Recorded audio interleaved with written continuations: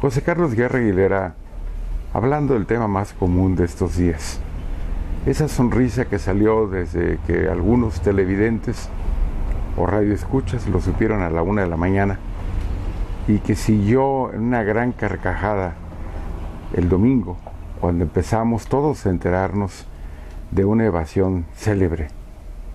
¿Qué hay detrás de eso? Pues evidentemente un ejército de gente inteligente. ¿Qué hay detrás de todo esto? Evidentemente un ejército de corrupción.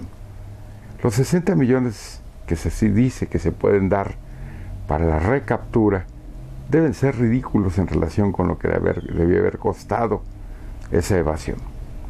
¿Cuál es el lado que quiero destacar de alguna manera? Bueno, pues evidentemente, como dice la película, mejor imposible. Y como dijo la otra película también, a ver si me atrapas. Y como dijo la otra película también, Sueños de Libertad, aquella preciosa película en donde aquel personaje empezó con aquel, aquel cincelito a elaborar su libertad. Al final de cuentas, ¿qué subyace en todo esto? Oigo, escucho, platico taxistas de la Ciudad de México, de esta ciudad, de otros lugares, y todo el mundo estamos hablando de lo mismo. Ja, ja, ja, ja, ja, ja.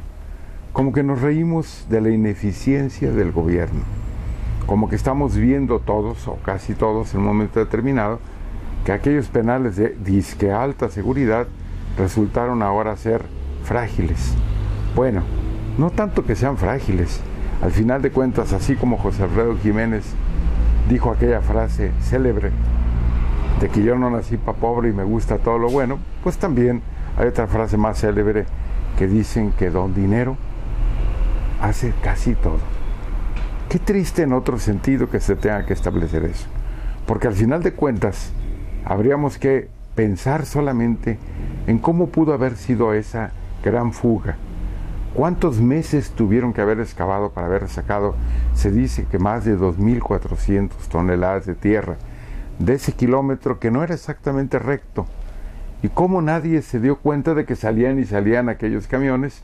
Porque no era solamente regarla así como si fuera cualquier tierrita, y que nadie se diera cuenta de que ahí estaba preparándose algo, en aquella vivienda. Qué interesante es, por otro lado, el hecho de que ellos hayan hecho aquello casi tan preciso, para que en un momento determinado los llamados puntos ciegos, lógico el punto ciego tenía que ser la intimidad respetable de cualquier recluso en cualquier baño. ¿Cómo es posible que se haya tapado inmediatamente el agujerito? ¿Por quién? Pues por algún celador, por algún cómplice, por alguien que se le pagó. ¿Para qué? Para que todo supusiera que estuviera escondidito por ahí en el máximo penal de seguridad. Qué triste por otro lado que ese personaje, vamos a llamarle personaje, de los más ricos del mundo, que estaba ahí, que rivalizaba con, con Smith o con Smith, y que en un momento determinado haya utilizado esa inteligencia para evadirse. Y qué carcajadas tan grandes debe tener ahorita, junto con más gente que está burlándose. ¿De quién? De nosotros, de los mexicanos. De los mexicanos, pero más que nada de las autoridades que en un momento determinado dicen, no voy a renunciar. Claro, ¿quién va a renunciar? Que le van a decir, no voy a regresar a México. ¿Por qué? Pues si voy a desfilar hoy 14. Que dicen en un momento determinado, voy a despedir, ya despidieron a tres. Como detuvieron a otros tantos.